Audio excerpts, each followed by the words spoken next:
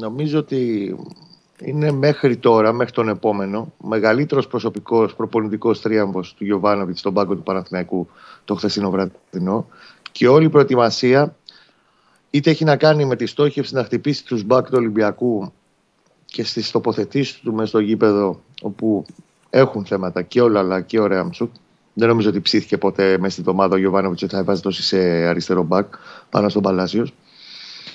Ε, όλη τη δομή της ομάδας και το παιχνίδι του Παναθηναϊκού στο χθεσινό ντέρμπι ε, τον έχει βγάλει 100% όλες τις αποστολές που είχε αναθέσει.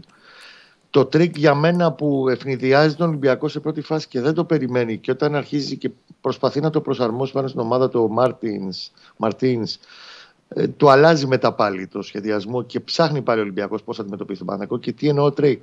Αν έχεις δει, και νομίζω το έχεις παρακολουθήσει, αν διάβασα σωστά και το κείμενό χτες βράδυ, πώς χτύπησε τη, την πλευρά του Ρέαμτσουκ σε πρώτη φάση. Έδωσε την εντολή στον Παλάσιο και η φάση του γκολ το δείχνει αυτό. Ε, να κινείται πιο πολύ προς τα μέσα, διαγώνια εσωτερικά.